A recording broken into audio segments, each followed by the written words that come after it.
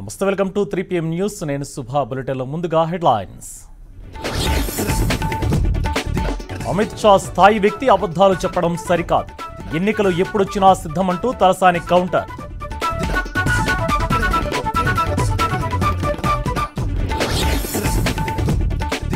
చారిత్రక సంపద సంరక్షణకు చర్యలు.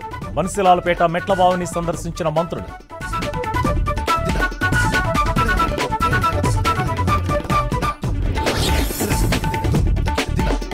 పులిచింతలపై ఏపీ సర్కార్ నిర్లక్ష్యం. తొమ్మిది నెలలైనా గేటు ఏర్పాటు చేయని ప్రభుత్వం.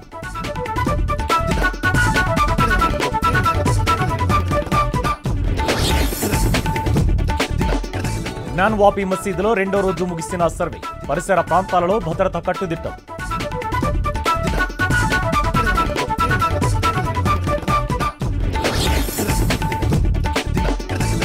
సోనియా చేతికి ఆరు కమిటీ కన్వీనర్ల రిపోర్టు. కాసేపట్లోనే డిక్లరేషన్ ప్రకటన.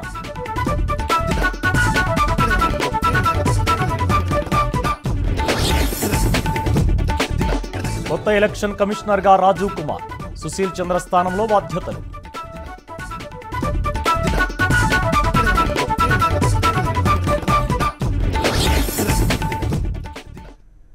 కేంద్ర హోంమంత్రి అమిత్ షా తుక్కుగూడ సభలో చేసిన